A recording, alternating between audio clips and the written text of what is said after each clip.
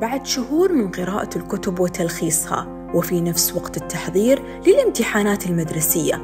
وصل طلاب الإمارات أخيراً للحظة تتويج بطل الموسم السابع من تحدي القراءة العربي. تعودنا في دولة الإمارات أن نصنع, أن نصنع من كل تحد قصة نجاح. محمدان بها مصباح حكمتها وشعبها تحرسه ومع أن غايتهم الأعلى هي تفوق طلابهم إلا أن الإمارات حبت تكرم بعد المشرف المتميز والمدرسة المتميزة.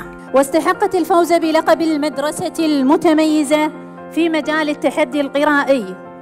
إنها مدارس الإمارات الوطنية فرع العين. وقد استحق جائزة المشرف المتميز في تحدي القراءة العربي الأستاذة الفاضلة نور الشحي يقولون إن أجمل فرحة في الحياة هي فرحة النجاح. فخلونا نشارك فرحة نجاح أبطال الإمارات. الحاصل على المركز الأول في فئة أصحاب الهمم الأبطال الملهمين صاحب الهمة القدوة الحسنة لنا ولأقرانه من الطلاب الطالب غريب محمد اليماحي. قراءة العربي على مستوى كل مدارس دولة الإمارات العربية المتحدة في الدورة السابعة. الطالبة آمنة محمد المنصوري. شعوري لا يوصف حقيقة الحمد لله دائما وأبدا. هذا كله من فضل الله ربي.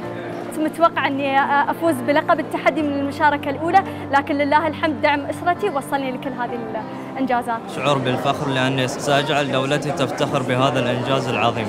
غريب وآمنة هم أبطال التحدي في الإمارات لهذا العام. وكلنا أمل بأنهم يهدون دولتهم لقب البطولة للمرة الأولى في التحدي.